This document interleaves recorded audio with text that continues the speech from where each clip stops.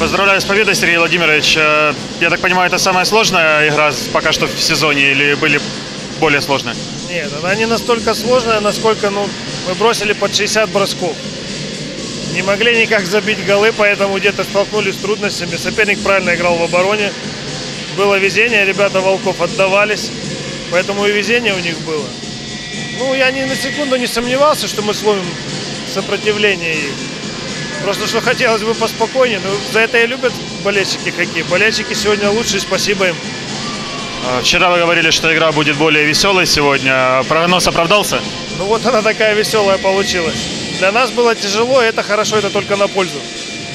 То есть, ну, через, именно через такие матчи, я так понимаю, э, команда наберет оптимальную форму именно к плей-офф.